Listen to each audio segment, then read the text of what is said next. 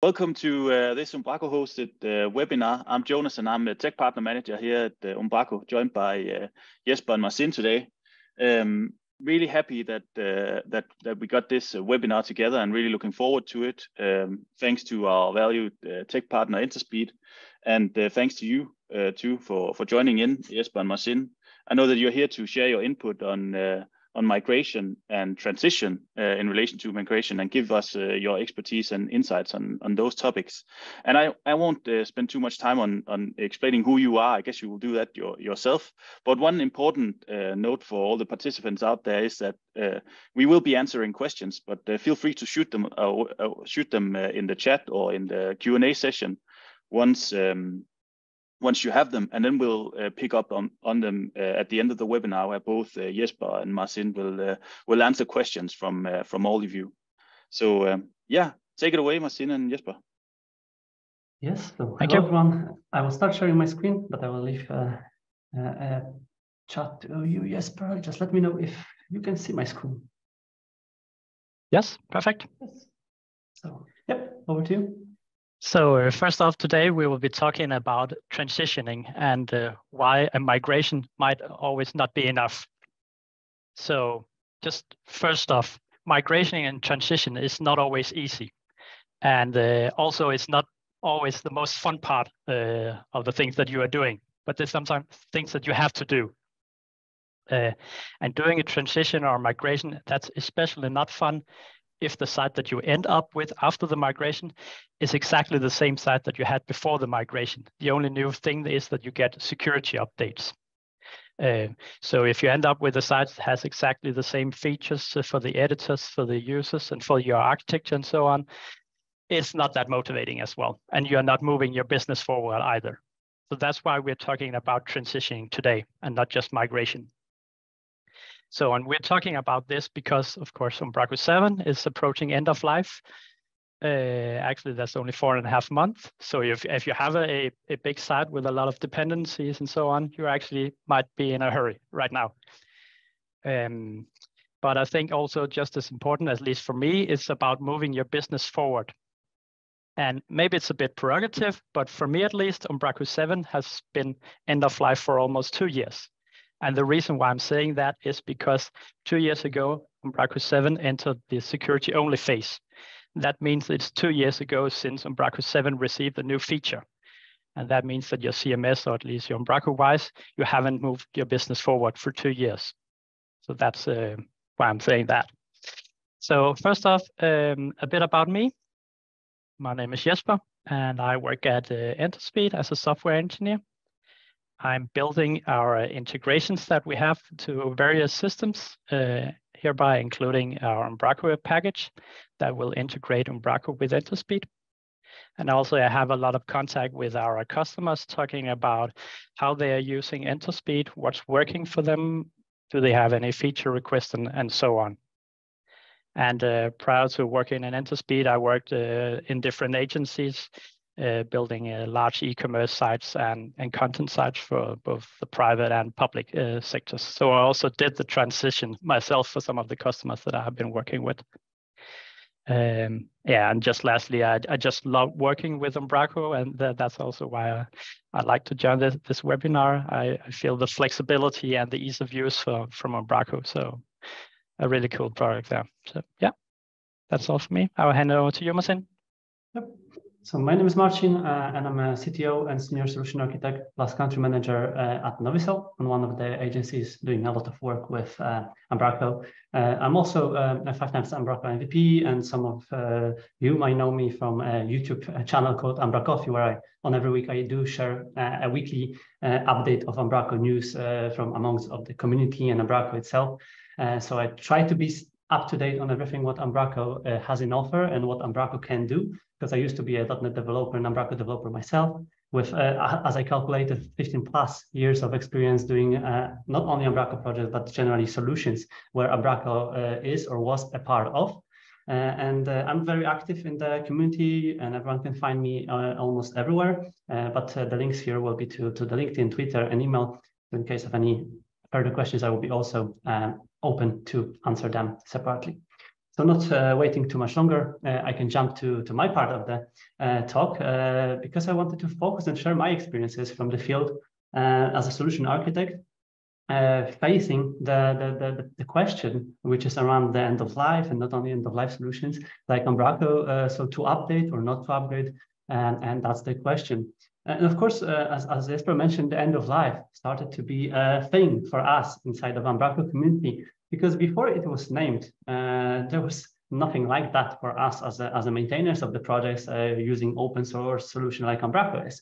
Uh, but when it was named, uh, it turned out to be a challenge, not a problem, but a challenge because a lot of the uh, vendors, a lot of the clients uh, started to raise the questions and the considerations of what will be when the end of life will approach. Uh, there are some questions like, will my website explode or stop working uh, when the end of life will happen? And of course, we as a solution architect, developers, agencies, uh, and users, we need to face these questions and we need to address them uh, uh, in front of our clients and our editors and users. So of course, the websites won't, won't blow up and won't explode. But of course, we need to take care of them because we want our clients and our solutions to be secure and, and, and good enough to handle everything what the internet and the, and the ecosystem around the web can do and, uh, and uh, make for us. So uh, as Microsoft back in the days, maybe some uh, older audience here will uh, remember, uh, made the Windows XP rest in peace. It's for our solutions and for our websites, it's not that easy to just make something forgotten. And our projects, I assume, or at least most of them, it's not like a do and forget type of the thing, but uh, we need to maintain them. And we are usually the ones who are in charge of making them secure, performant, and still uh, valuable for, for our customers and their, their end users. So we cannot forget about them. Hence, we need to choose our own adventure and we either, either need to update, migrate, or rebuild. Because based on uh, my and our experiences with uh, not only Umbraco, but also other solutions, uh, these are three paths to uh, explore. And uh, I want to focus on some of them by uh, explaining a couple of the use cases from our real life where we needed to really approach this challenge from different perspective. Uh, so I want to meet, uh, want you to meet John, uh, and John's team had a simple marketing website uh, with not that often changing content. It was built with Umbraco 8 using very basic and built-in uh, Umbraco data types and editors. John and his teams were very happy from the website, but they want to get the newest features that were offered by the latest Umbraco. And they want to just ensure that they are keeping their systems safe and they want to have a longevity in mind. So very basic solution, very basic website, happy team, happy customer, what to do when it comes to end of life. So we decided to take these steps. We migrated content. We reused the database from the existing solution, did a file migration, and perform the refactoring of the code to make the uh, underlying implementations working in the newer version of the .NET uh, framework and .NET itself. So custom code need, needed to be rewritten uh, and refactored to be supported in the latest framework. Then we did a plenty of tests and the client still maintained happy. Uh, Umbraco Cloud has a really nice guide that we followed at the beginning of this journey, and it's linked here on the on the slide. So uh, please uh, do follow and check it out on, on your side because the steps there are were exactly the steps that we've taken. And it made our customer really reuse their content and make the, the new Umbraco in work uh, relatively fast and, and, and without too many uh, challenges uh, in front of us. So this migration was really fast and easy to be done uh, uh, in the relation to some bigger and more challenging ones that I want to describe further. Uh, second person is Aline, and Aline runs the digital and marketing department in one of the law firms, big law firms. They've inherited very uh, old, uh, old solution built by their mother company back in 2019, uh, and it was done on the greatest and latest Umbraco version 7 then. Uh, the team had a lot of custom requirements. There were a lot of integrations and implementations done on top of the uh, popular community packages then. Uh, and the website um, uh, was reported by the team as very unstable and problematic. So uh, also the UX and the editor's experience required a little bit more love over the time. So how we helped Aline with their challenges. we performed a set of workshops. Uh, we tried to understand what is making them going completely crazy with the editing processes on their side, uh, how the content uh, is structured at the time when it was um, built. Uh, then we considered the architecture update, which is the topic of our today's solution. So we consider if the current architecture meets their expectations and their further digital um, um, challenges they will be facing. And then we did a rebuild and refactor as well, because the code needed to be rewritten to support the newer version of the .NET framework as well. And the content was repopulated. In this particular case, it was the easiest and the fastest uh, solution for their uh, challenge. But based on the requirements uh, and the workshops that we've performed with the client, we decided that the content is not in the best shape and the content structure required to be recreated to be fair. And that's why we took this approach. But we recreated the architecture with the more complex connections in between of the systems, tested a lot, and made another customer happy after the migration as well. And third, last uh, persona to discuss today is Sven. And Sven is my, our uh, good guy because he's also a solution architect. He was leading the team uh, and their company producing electrical chargers for, uh, for cars. Uh, and their website was built in 2020, so relatively not that far away in time. And it was developed with the single page application, very fancy and good front uh, in front of the APIs exposed by the website and the third parties. Uh, but their compliance team uh, noticed the information about their backend solution Umbraco uh, going end of life soon. And they've requested the team to update it before the end of life date. And Sven's team was mainly front-end team, and they don't want to deep dive into the .NET and MVC part because they don't want to get lost in that. They prefer much more the JavaScript part of it. So we helped Sven and their team as well because we sit down with them and perform the architecture diagram and API specification. We created a couple of the new endpoints and we considered, for example, tool like Enterspeed to help us to replace the endpoints with the new endpoints with the data coming from the different sources. And then we did a content population uh, and we our migration because we could consider also using for, for this particular case and tested a lot as well. And Sven's team was using the same frontend for the different data source, and it was all working fine. Uh, so that's uh, the case where um, uh, the architecture was already in place for a migration like this. So we did uh, accomplish the goal, and Sven and the team become happy.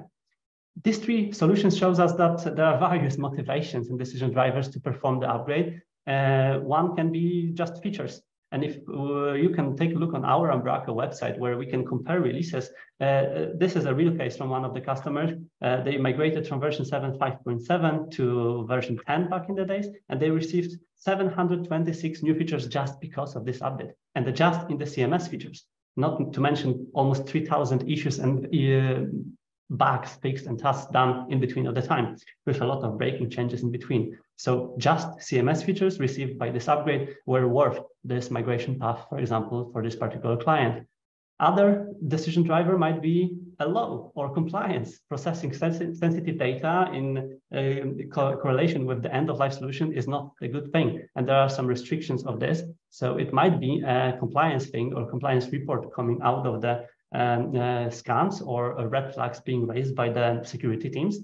And there are underlines real, real security issues which might be popping out if the tool will become unsecure and there will be some kind of holes or potential uh, issues to address from the perspective of the people who are not that happy to uh, help us uh, sustain in the web.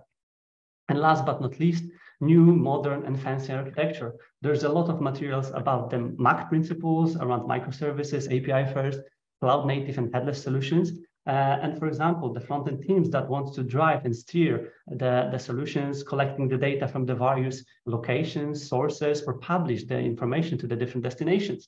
So using migration or this kind of opportunity in front of us, instead of just copying over solution one-to-one, but just changing the backbone of it, is not always uh, the wrong thing. And in most of the cases, I would say is the best thing because we can do two things in the same go and not only migrate to the latest and greatest Umbraco version, but also do more uh, backbones and, and, preparations for the future uh, and integrations with the other systems. And I wanted to use a quick examples of the e-commerce solutions where we captured the different generations uh, of the of the uh, of the systems and solutions that evolved a lot from the past where we had almost only front end and back end systems to the digital composable channels where we have various destinations back and for front end, and where the content in all of these solutions is just a small piece of the puzzles. So we really need to think about building our solutions around these puzzles and with these puzzles, not just with the one puzzle that is solving one particular problem and forget about the others that might pop in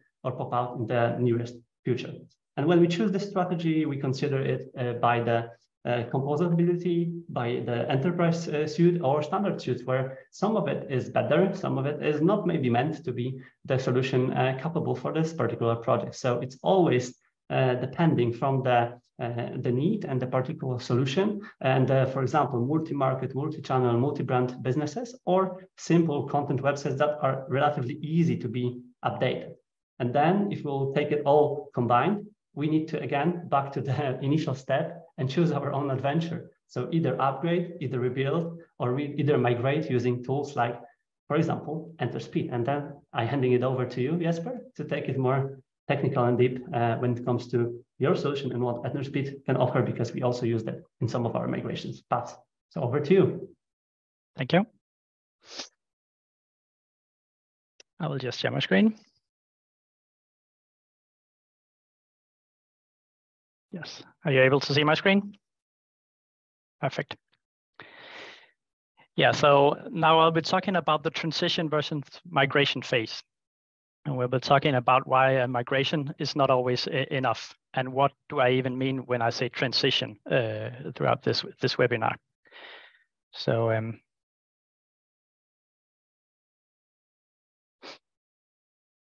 So first off, let's talk about the difference when I talk about migration and transition.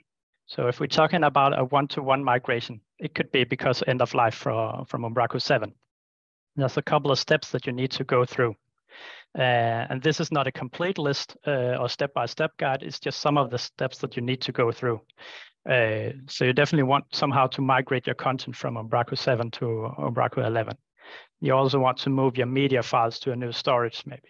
You also want to upgrade your .NET from .NET framework to .NET um, as supported by the new Umbraco versions. And of course, as uh, Marcin mentioned, there's a lot of breaking changes that you also need to fix uh, during the upgrade. And if you just do this uh, one step at a time, then as I talked uh, about in the beginning, you just end up with a site as you had before, but now you got the security updates. Of course, there's also some features that you get out of the box that you don't need to implement in Umbraco 11, uh, and you also get some performance boost uh, by by using Umbraco 11 compared to to 7, uh, primarily because of the .NET um, version. Um, so instead, I want to be talking about transition, and that's where you can actually move your business forward. So maybe you also want to upgrade your architecture and use that opportunities. So you're forced to do a migration somehow because end of life. But you could take that opportunity to also upgrade your architecture at the same time and actually moving your business forward. Of course, you still need to migrate your content uh, somehow, but the important thing here is to start to get advantages of some of the new features or possibilities that you have been, been given.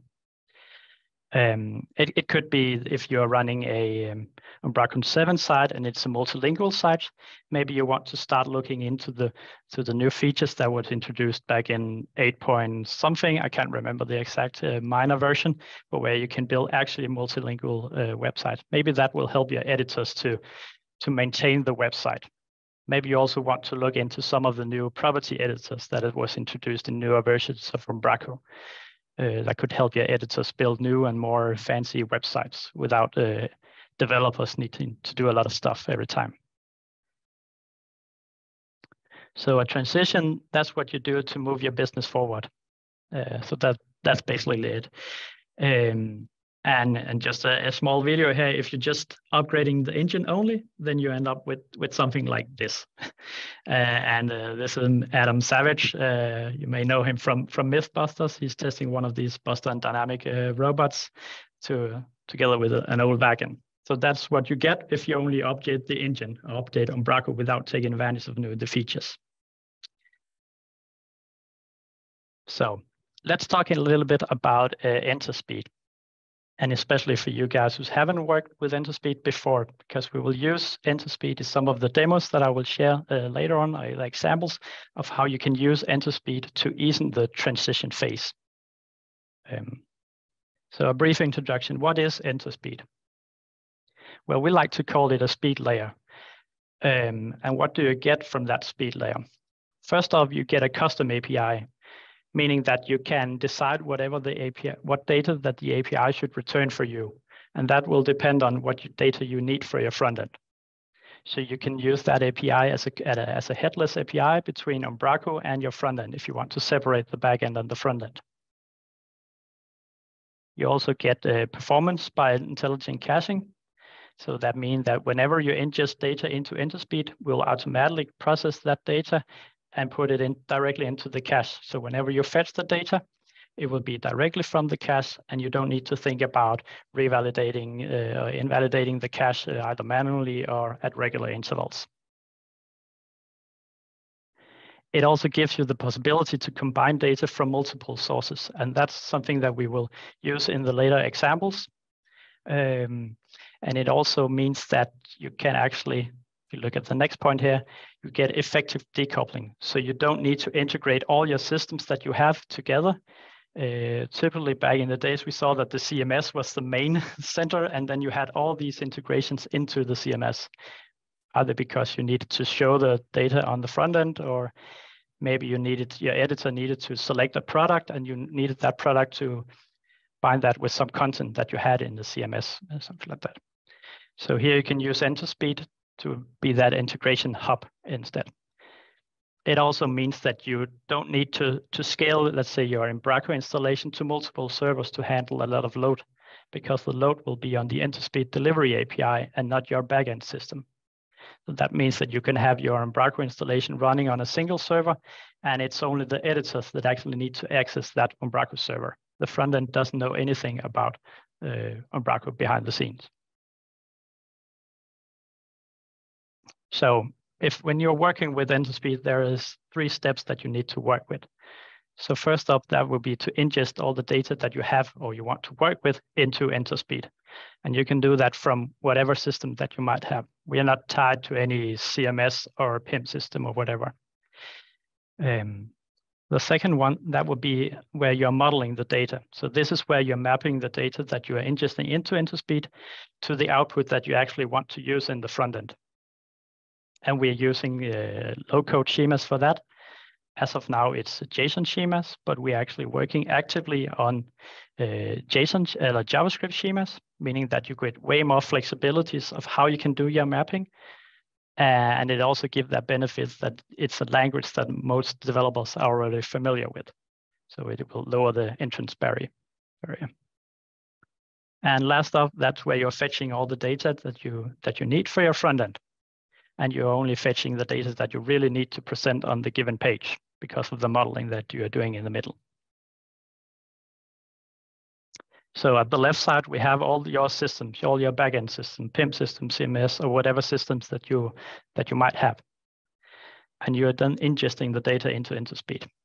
And you can ingest the data using a REST API, using a .NET SDK, or some of the integrations that we already have in place.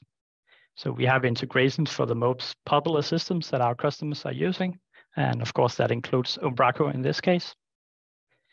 Um, I also want to mention that our packages, all our integrations are open source.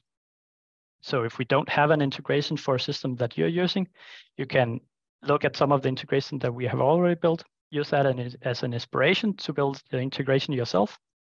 Or often we will also help build that integration uh, for you.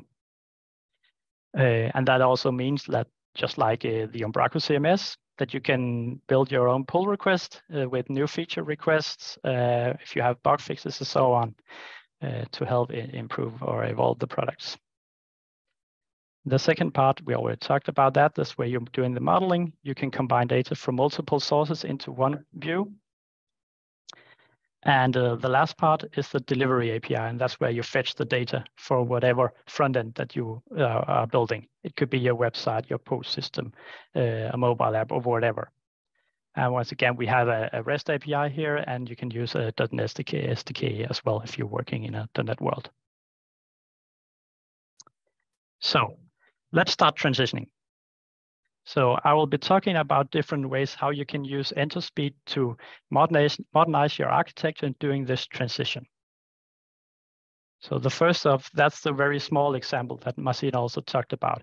A very basic website, uh, no, not much custom code, no integrations and so on. So it's a very simple site uh, and maybe it's easy for you to just do the migration or update the architecture in one go or maybe you don't even need to update the architecture because it's just that simple site. The second example I will be going through, and I will be giving a demo of that as well. It's a more complex site, complex site. So you have dependencies between your front end and your back end. Uh, you might also have a lot of custom code uh, in the application. So uh, one way of transitioning here is that I will be show that you can actually start by updating your architecture and then do the migration afterwards. Because once you are separated, let's say the front end from the back end, it will also be way easier for you to migrate the back end because you don't have all these dependencies. So basically that's the key concept for all these paths that you can take for a transitioning is just to break down into smaller steps that will make it way easier for you. And the last uh, case that I'll also be demoing, that's the monolith that we all know about. So that will be the CMS that you have in the middle, and you have all these great integration from different systems into the CMS. It could be your commerce platform. It could be any other third-party systems that you have integrated into your CMS. And with that solution, it's very, very hard to do a migration of the CMS because you have all these dependencies. So separating them out, and then you can do a transition of one of the component one at a time. And that will lower the risk of errors, and it will also provide more confidence in the estimates. Um, and I would even um, suggest that you take one component separated from the from the main system, and then you can deploy that component to the production environment. So you do that one component at a time. It will also be, if you introduce some error, it will also be way easier for you to identify the error and where the error is actually happening because you only change a small part of the system and not the entire system at one go. So the first example here, that was the small sites that we talked about, very simple sites. So you have an Umbraco 7 site here, and you have an old front end running. You're using the Umbraco API to render that front end. So they are very tight, uh, tightly coupled, uh, the front end and the back end. So the first step here, that could be to introduce EnterSpeed as a headless API and then build a new front end to separate the front end and the back end. But as we also talked about, this is maybe a very small site. So maybe you don't need all the, the benefits that you get from having a headless setup. So maybe it's okay to just do this only upgrade the CMS from Umbraco 7 to Umbraco 11. Maybe you still need to reuse the old back or the old front end. Maybe you want to build a new front end, that's okay. Um, but of course, there's still all these breaking changes that you need to take care of. Um, and once again, it's very important that you start at least looking into some of the new possibilities that you have been given from Umbraco 11, as we talked about earlier. So that's very important in order to move your business forward. Um, so one of the things that you also need to do here is, of course, migrate the content. Uh, as Marcin showed, there's a lot of breaking changes. There's a lot of new features going on from Umbraco 7 to Umbraco 11 or Umbraco 10 if you need the long-term support for that matter. Um, so I guess in some cases, it might be easier just to spin up a new Umbraco 11 instance and then migrate your content. Um, so one way you could do the migration of the content could be to use uh, using migrations just to migrate the content one-to-one. Um, or maybe you also need to think about the content. Do I actually need a copy one-to-one uh, from the existing site to the new site? Maybe you want to modernize or update some of the most important pages that you have. So maybe it will be better for you to just rewrite these pages yourself uh, in Umbraco 11 and then you can use an automated migrator to migrate some of the, let's say, all your long list of news articles or blog pages that you don't want to rewrite because they are just as they are and they should probably not change. So that's also something that you could think about in this phase. What about the content? Do I need to update that? So the second example that we have here is for the more complex site. So once again, I have the same starting point, an Umbraco 7 and an old front end. But this time I have a lot more custom code. I have a lot more dependencies. So maybe the first step in this case would be to actually separate the front end and the back end. Uh, and then you can afterwards migrate your CMS because you have way fewer dependencies at that time. So let me show you uh, an example of that.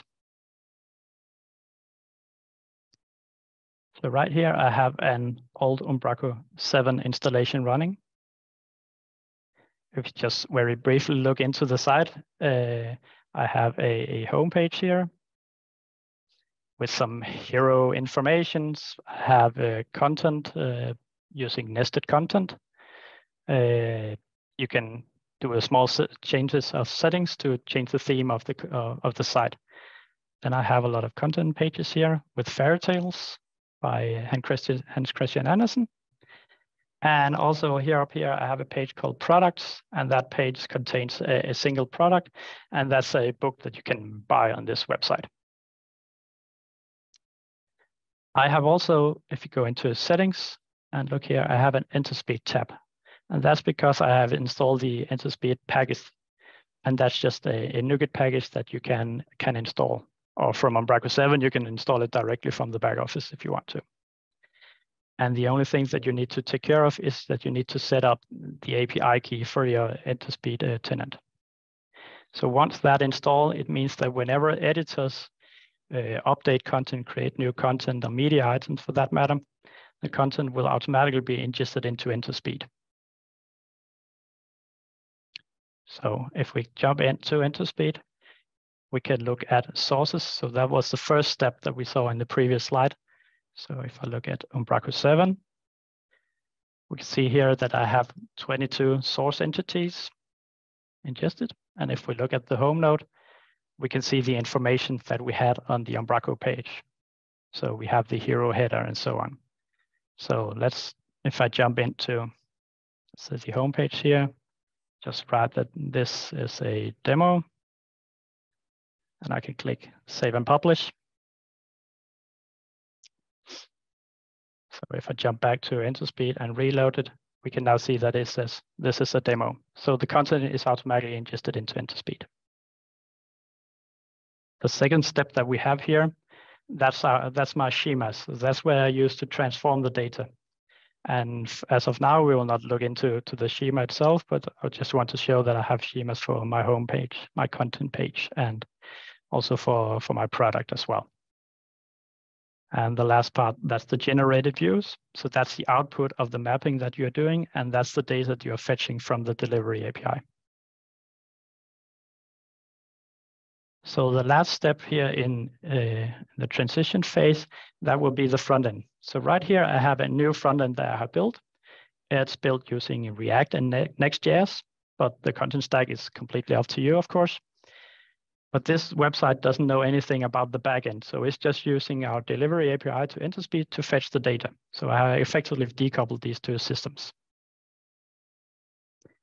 I have the fairy tales that we saw up here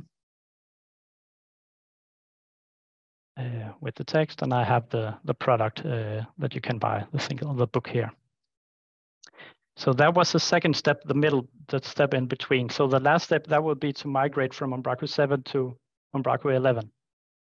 So I also have a new site here. It's running uh, Umbraco 11, running in Umbraco Cloud. So if I just sign in using my Umbraco ID,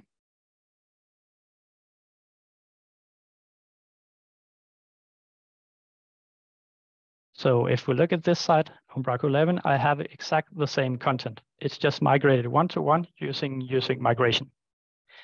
And I did the migration on a local version of my Umbraco Cloud site so that I could test that all the content is working, is looking as I was expecting. And after that, I could use Umbraco Deploy to push the content, all the document types to my live Umbraco Cloud site. Um, So now I have these two backends. So the only thing left to do is to change the front end to use the content from Umbraco 11 instead of Umbraco 7. So down here, I have my code editor. And the only thing that I need to change is that I, right now I'm using an Enterspeed API key that's pointing to my Umbraco 7 uh, source inside um, Enterspeed. So if I remove that and add the Umbraco 11 uh, key instead, then I'll just need to restart my website here like that. And then I can go back to my front end. And we can see we are using the exact same front end without any code changes, but now I'm getting my content from Umbraco 11. And So that would be one way that you can do the transition and break it down to smaller steps. First off, migrating the front end, push that to the live environment. After that, you can do a transition of the Umbraco with any, without any all these dependencies that you have. Perfect. Let's jump on to the third example that we have. So that would be the monolith. So down here, I have Umbraco 7, I have a commerce platform, I have any third-party system. So once again, break it down to smaller steps. So the first step, that will be to separate all these different components. So I've separated the front end, I separated the commerce platform, I separated any third-party systems that I might have. And right here, I'm using Enterspeed, the power that we can have all these different sources and we can merge the data inside Enterspeed to whatever the front end need you probably want to do this into smaller steps. So here I had both separate the front end, the commercial, third-party systems, but I would suggest doing that one at a time, uh, once again, to, to ease in the migration. And as before, the last step here, now that I can do a migration of Umbraco 7 to Umbraco 11, and it's way easier for me to do it now because I don't have all these dependencies. So let's look at an example um, for that as well. So I have another uh, Umbraco 7 uh, site running here. And it's more or less a copy of the content that we saw from the first uh, version, except that I don't have uh, the products here anymore. I only have the products page itself, but the, the real products I have separated out to a real commerce platform. And uh, in, in this case, just for the sake of this uh, webinar, my uh, commerce platform here will just be an Umbraco 11 installation. You probably want don't want to do that. You will use a real commerce engine, uh, but this is just to showcase how you can have multiple systems uh, working together with Enterspeed. So in this Umbraco 11 installation, I only have that single product. Uh, and that's the exact same product as we saw before. So if we look into Enterspeed once again, I just switch to a, another tenant here. So if we look at all look at all the source entities that we have, so if we look at Umbraco 7, see that now I had 21 entities. Before I had 22 because that's I have separated out the single product that we had. So if we look at the source from Umbraco 11, that would be your commerce platform. Uh, I only have uh, two entities. I have a, a, folder here, just to a container for the product, and then I have the, the product itself. Uh, so once again, using the exact same front end, I'll just go back to my code editor. I'll once again, change the API key to the new tenant that I was just showing you. And if we restart the website once again, jump into our front-end website, we can now see that we are now using, uh, once again, the exact same front-end without any code changes, but the data is coming from multiple systems right now, both coming from Umbraco 7 and Umbraco 11. So if I go into the products page that we have, we can see that the page itself, that's coming from Umbraco 7, but this single product here, that's coming from another installation of Umbraco.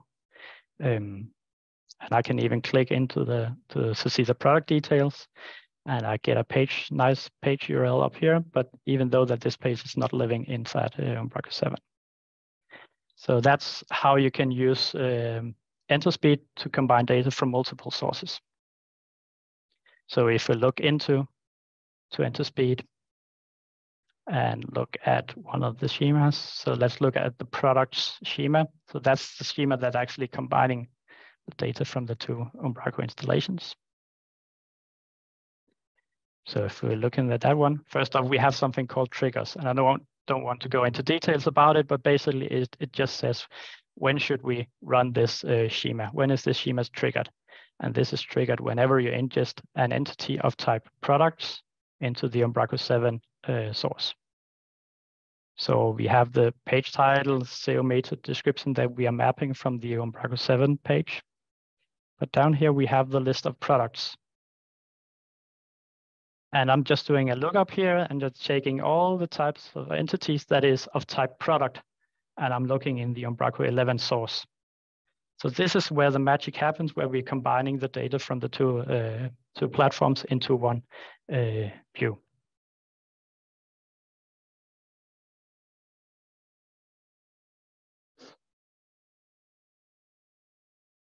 Perfect.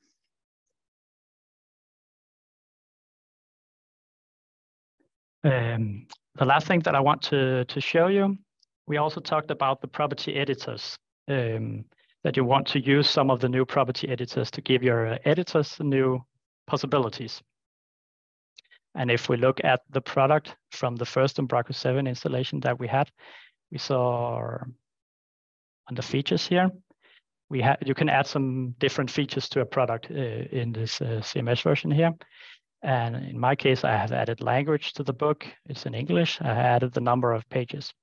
And this is nested content. But as of Umbraco 11, nested content has been marked as obsolete. You can still use it, but you need to, to activate it to, to, to use it. But it also means that it will be removed from future versions of Umbraco. So you also need to think about how do I migrate uh, these property types. Um, so in my new Umbraco 11 instance here where I have the product. I have migrated the features and it's now using um, the block list instead of the nested content. But I still have the same content. But as we saw, I did not do any changes to my front-end website. It's just receiving the exact same content. So it's in the schemas in Enterspeed where I'm doing the mapping a little bit different because the input is different, but the output will be exactly the same. Um, yes. So I think that was uh, all for me. And uh, I think the, the last thing will be uh, questions, if any. Thanks a lot, uh, Jesper and Marcin. Uh, really, uh, really good demo, Jesper, and, and thanks for conceptualizing both of you. Um, we do have a question coming in from from Paul Seal. Um, who's asking, this is a very compelling demo. How much does it cost to actually use Enterspeed? I don't know if you can answer that, uh, Jesper. And if anybody else has questions, please fire away. Uh, very brief. I can. It's normally not not something that I talk about, but but you can uh, spin up a free instance of Enterspeed, and I can't remember. You can have five thousand source entities, and I can't remember the number of uh, delivery requests that you can have. So for very small sites, you can use uh, Enterspeed for free. And then if you start adding more entities and so on, then you will start to, to have a price to pay. But yeah, so jump into to Enterspeed and start a free uh, free tenant. And then you off. Thanks, Jesper. There's also another question here. Is the Enterspeed uh, support only for Umbraco Cloud or can this be used on on-prem Umbraco as well? It can be, be used on uh, on premise as well. So uh, the Umbraco 7 uh, sites that I was using, they are just I had just them running on my local site, and you can host them on Azure or whatever you want to to host your website. Yeah. Cool. Um, then we have a question from Thomas. Uh, you advertise for the free upgrade from U7 to U11, but I couldn't see that in, in your demo. You used uSync uh, to migrate content. Am I missing something? That's his question. Yeah. So in Enterspeed, we can help doing uh, the migration of content uh, from one platform to another. But just to be straight up honest, if you're working with Umbraco 7 or upgrading from an old Umbraco 7 to a new Umbraco, then using migration can do a way better job than we can do.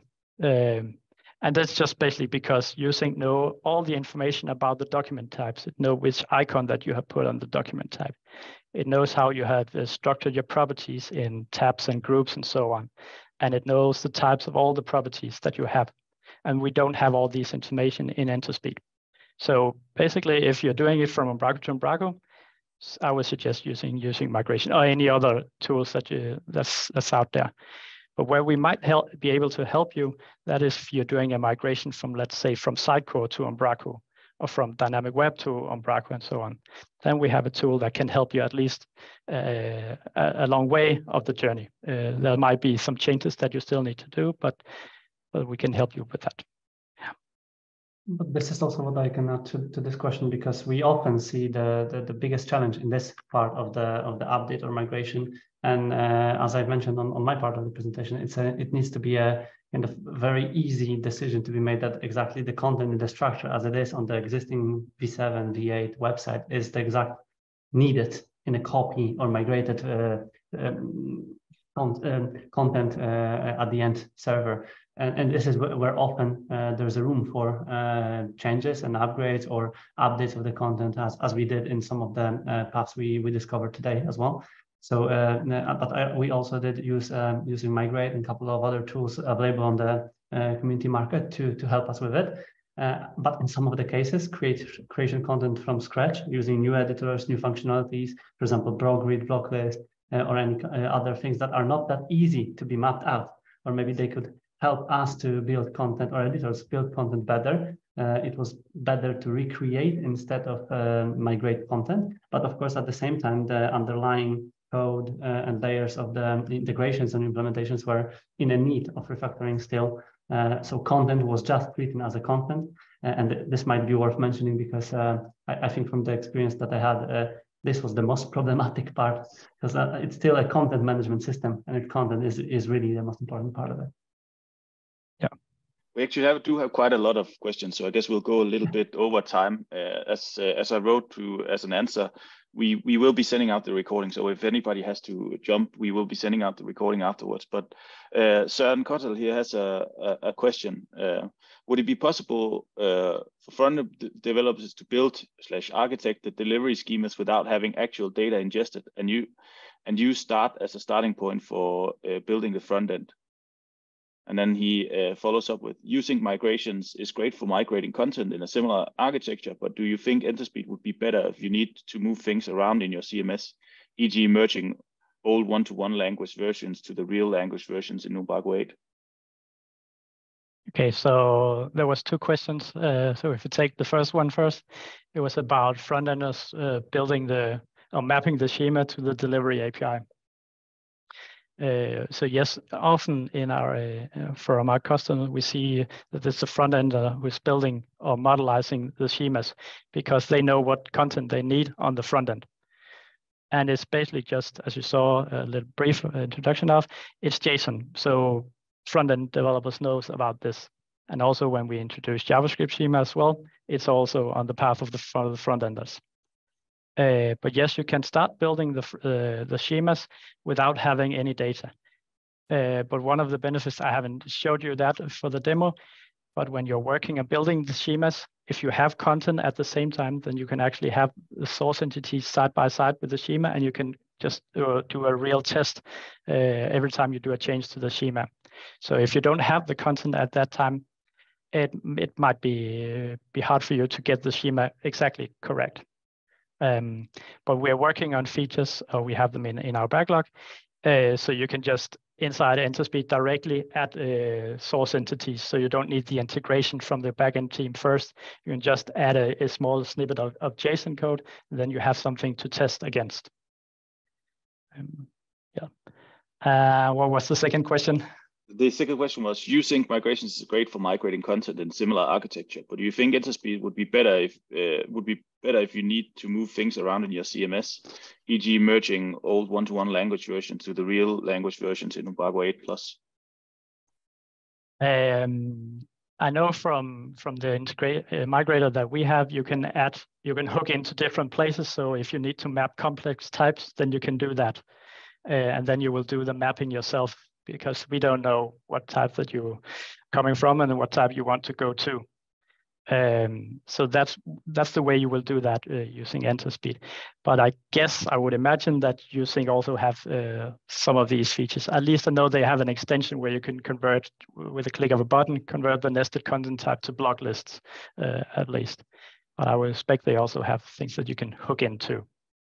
Um, at, at, this, I would add uh, that, that you you mentioned this part the steps between before uh, decoupling uh, solution, and I think the uh, one of the, the steps might be the content migration because it might be done with different tools, uh, uh, and and, and mm-hmm. it might also involve the human interaction between and not be possible to be fully automated, unfortunately. Yeah, yeah. But this this is where the the Enterspeed layer might be detached, and and at the same time the front end team, which was exactly the case in our situations, was already working on the uh, presentation layer. And uh, also adding it to the previous answer that, that the front enders already map, were mapping the, the, the markup and the, the views to the data that they were expecting. And the backend team was doing the work of the migrating content uh, between the Umbraco versions and different data types. So it might be not uh, automated, but at the same time, it might be done simultaneously um, and it shortened the process a lot yeah, I guess that's the key point. It's not you don't need always need a one-to-one migration, but if you can just migrate at least the hard part uh, or most of the pages,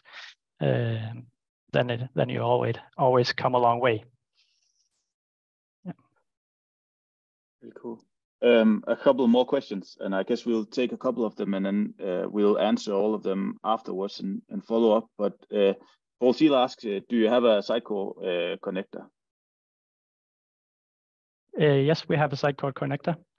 Um, so you can use that package just as, as I showed uh, here. It will work in the same context. So whenever you update content and so on, it will be ingested into to Enterspeed as well. Yeah. We like that at Umbraco, I have to say. yeah. um, uh, a complete new front end needs to be built from React or any other front end technology only, as this we need to use APIs from Enterspeed to map content. Uh, do you understand the question there? Yeah, so so what I have sh showcased here is that we are using the delivery API to deliver data to a headless front end. So it's, it's separated from the backend to the from the front end. Um, if you just want to use the the Umbraco API, if you don't need a headless setup, then maybe you don't need uh, maybe you don't need Enterspeed. Uh, maybe you can just use Enterspeed for some of the transitioning phases, um, depending on how you want to do it. Um, but you can just as easily, if you want to, to build your new front end using the Umbraco API, uh, using Razor views and so on, that's com completely fine. Um, but I think that, that also follow-up answer that is that uh, the front end is not forced to be used with React. There's no one library that you say that supports React. Uh, we we did it with the Vue.js frontend, but what is the benefit from the architecture perspective? I think of using platforms like Enterspeed is like we can completely detach frontend from the backend, and frontend can consume the content from wherever it's coming from. And what can be also done, as you've proved by the example, that you can change the data source without changing the frontend uh, at all. So uh, if, if we'll decide to use any other CMS, like maybe Sitecore, maybe even anything else to, as a data source, it can be swapped on Enterspeed without affecting front-end build. So front-end is built at once, either it's Vue.js, React, or pure vanilla JavaScript. It's not yeah. requiring anything uh, then to change the data source on uh, because it's coming from the delivery API from Enterspeed. Yeah, and I also think it will put you in a better position. So when you do need to do the migration next time, it will be easier for you because you don't need to do all these steps that we showed uh, once again. Uh, and I know now Umbraco is pushing uh, major versions every uh, six months instead. So maybe the changes will not be that that big every time. Uh, but still, if you stay on Umbraco 10 for 10 years, then there might be a lot of changes uh, once again, and you need to do the same routine once again and handle all these breaking changes.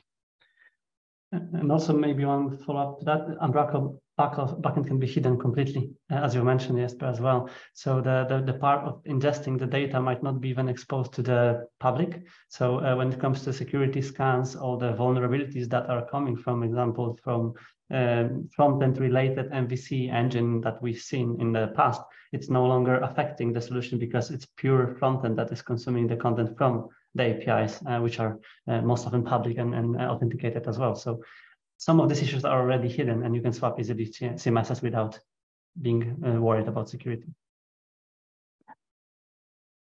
Cool. We do have a, uh, a couple more questions, but uh, we will make sure to answer them uh, afterwards. I would say a huge thank you, Jesper and Marcin, for uh, for a great presentation. Um, thanks a lot, and uh, looking forward to perhaps the next time. Thank you. You too. bye bye.